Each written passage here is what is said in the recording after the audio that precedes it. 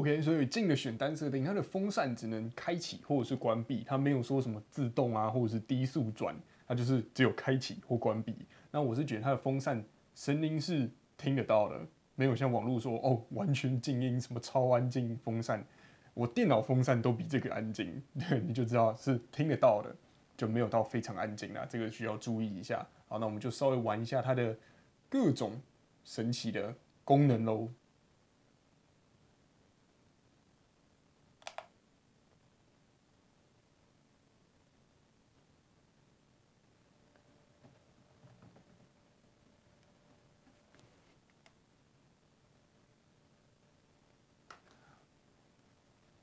OK，所以它的，所以它的整个，那它的设计，那它整个设计呢？它整一，它整个设计，它，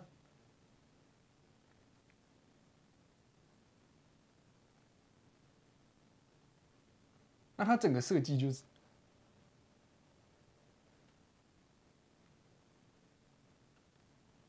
那它整个设计就是跟蓝光灯棒，如果有用过蓝光灯棒，这个就用起来一模一样，就是左边是用一个。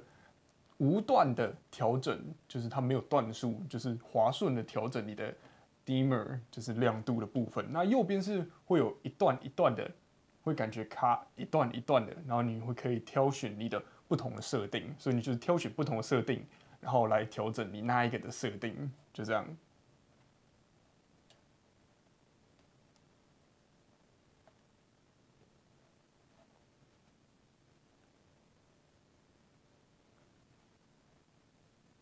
那它整个操作，如果你有用过蓝光灯棒的话，那其实就大同小异。反正左边这个是调整亮度的部分，那它的亮度调整这个旋钮是无段的，就是很滑顺，就你可以直接一个一个这样慢慢的滑。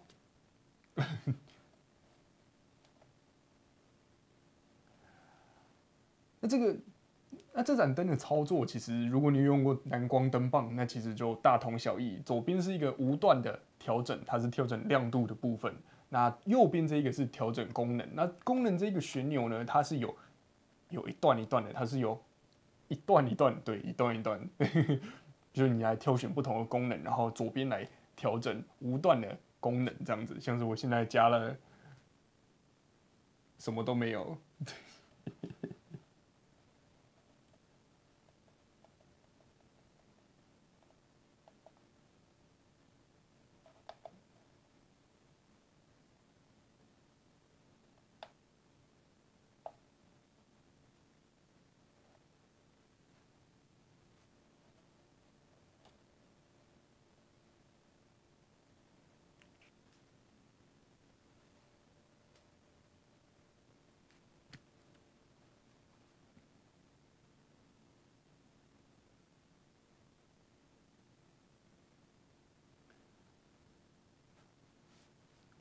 那我有一个，那我有一个疑问，就是，那我有一个疑问，就是为什么蓝光是这样设计的？你看它的 DMX，它是有一个要转上去的螺牙，可以让它锁在上面，但是它的电源没有，哎，它的电源只是用一个阻力，就是让它摩擦力就直接卡在上面，所以我打一个问号，就是它这个电源会不会插久就松掉了，很容易松出来？这个我不知道，这要用时间来验证。那为什么右边 DMX 这一个插孔是用这个螺牙可以锁进去啊？左边这个电源不要，我不知道他们为什么要这样设计。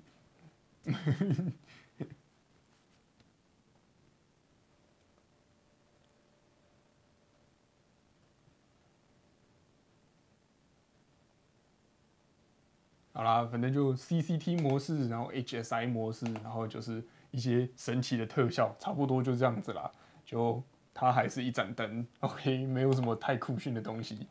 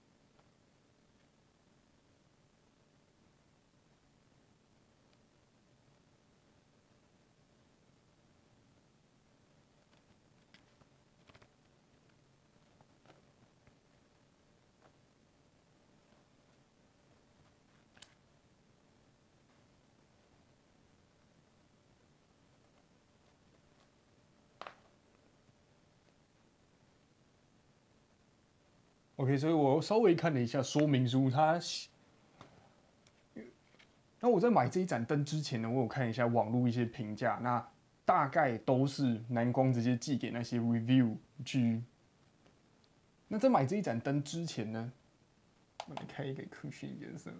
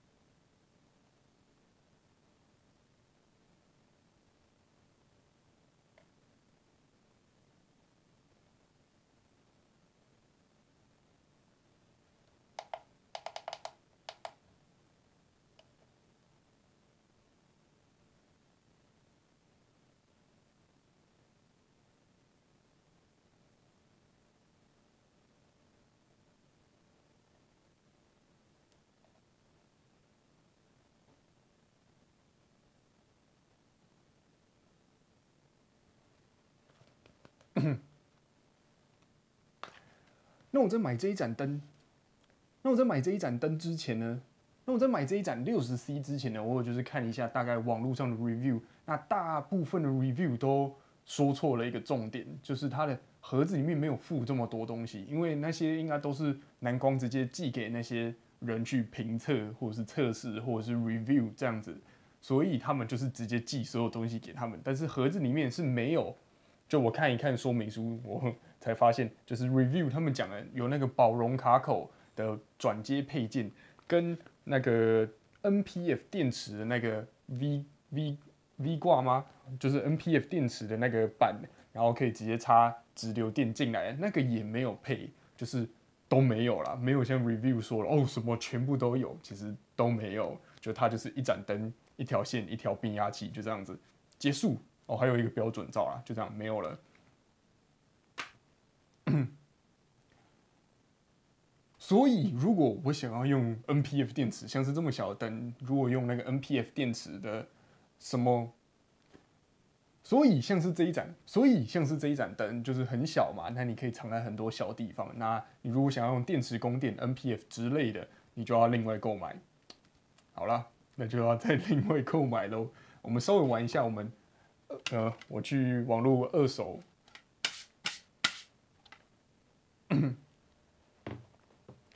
所以如果我想要，所以因为所以如果我想要像是那个 NPF 电池背板，然后可以直接接 DC 直流，直接供电，因为这盏灯很小嘛，你可以塞在各种小角落。那如果电池供电应该会蛮方便，那我就需要另外购买。那现在我手边有另外一个配件，也是一起买的，就是二手的。Fernel 配件，我们就把它装上去玩玩看。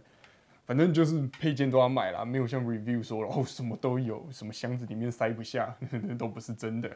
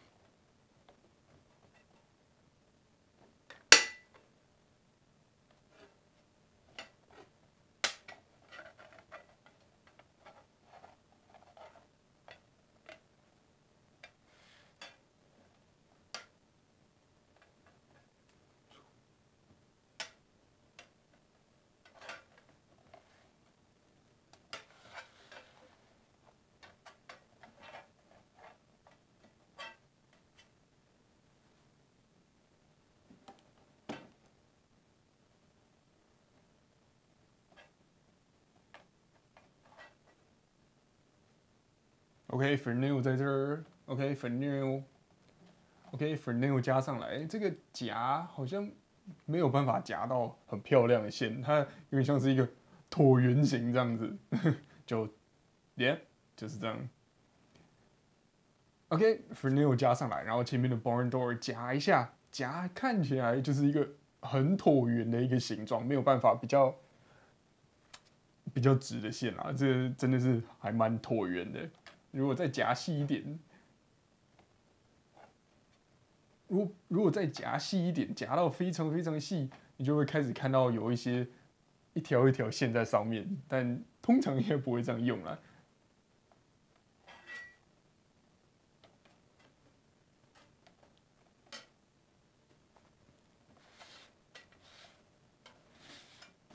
好了，没什么。好了，没什么大问题。这个 Fresnel 主要就是可以变焦，可以放大。我们把这个前面的四叶片拿起来，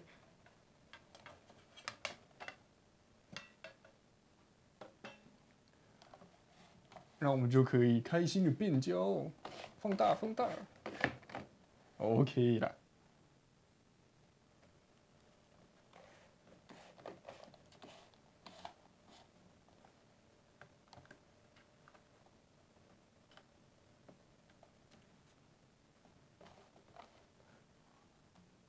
所以这是四十五度角，然后这个就是传说中的十二度角吗？十二十三度，就是可以把它聚焦的更细。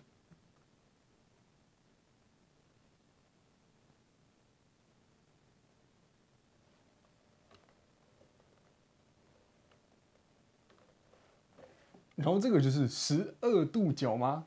就是你可以让它照射范围更可以控制啦，然后如果你再搭配那个 barn door 这样子稍微控制一下光，那这个应该是还蛮好用的小工具，神奇的 Fresnel。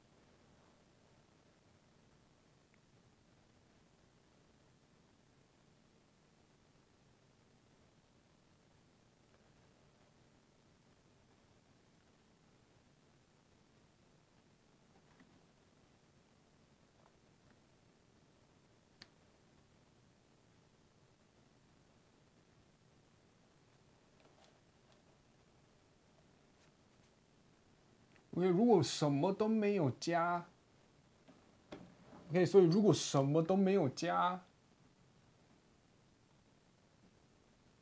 ，OK，所以如果什么都没有加，它其实照射范围就没有到很宽广了，就是它已经稍微有一点蛮局限的，可能五十度吗？或者是五十五十度左右啦，就是它的照射范围感觉就是已经是。平常的 COB 已经加了标准照的感觉，类似那样的感觉，就是它没有办法几乎一百八十度的大乱照，就是比较局限的部分。就是如果你一个距离很短，像是现在这样距离很短，你想要照整面墙，那是比较困难的。你可能前面要加一片随便的柔光纸，这样子才有办法办到，不然它的照射面积就是照射角度就是稍微有点局限这样子。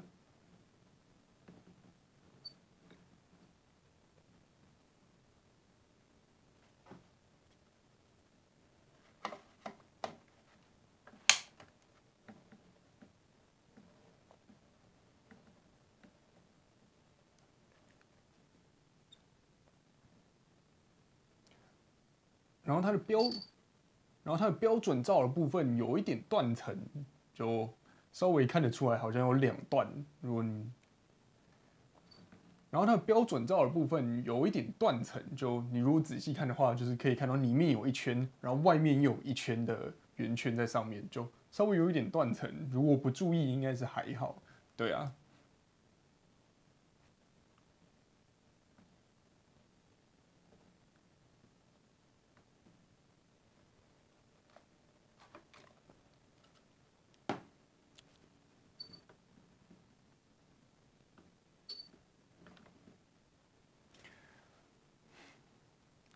好，那我们稍微玩一下。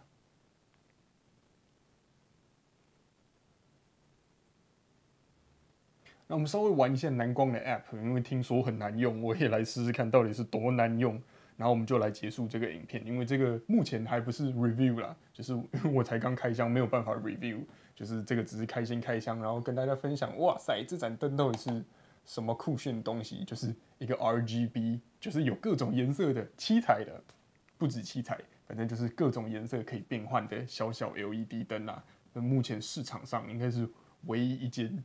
就是作为一个小小的 RGB COB LED、RGB ACL COB LED 的厂商。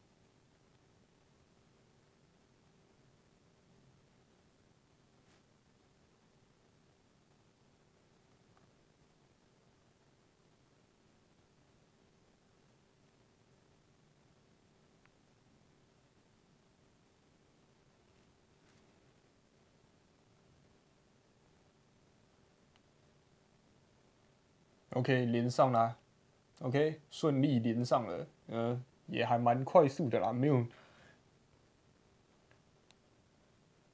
，OK，连上了，OK，连，OK，顺利连上，没有网络说我那么夸张啦，我不知道，可能是我手机刚好适合这个 App，就是刚好优化到或者是怎么样，不然目前看起来是还 OK，但是就是需要时间来验证。如果你真的在一个拍摄环境有很多蓝牙二点四 G 的东西飞来飞去，可能就会受到干扰。不知道这个要等 review full review 才会知道。反正就是目前就在旁边，还蛮快速的啊，连接就是重新新的配对，也没有花很多时间，还行。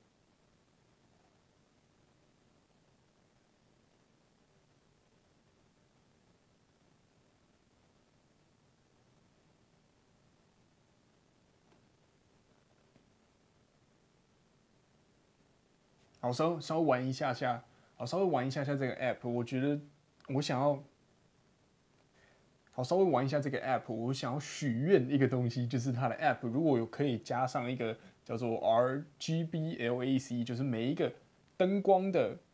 就是我可以分开单独调整每一个的数值跟亮度，这样子我觉得会可以更能发挥这盏灯可以做到的事情。就是我目前就只有像是 R G B W H S I 跟 X Y，就我没有办法知道我到底是用什么灯光的那个颜色去发出来的光线。就如果我单纯就是想要啊，反正就是我想要多一个，就是每一个我可以调整这六个单独调整它的每一个的强度，这样子我觉得会比较多发挥的空间啊。因为现在就是你这样子调，就是几乎都是混，一定是两个颜色以上，就是你很难就是单独哦，我就是想要那个 R 百分之百，我不知道它到底会怎么样子，反正就许个愿，不知道会不会发生。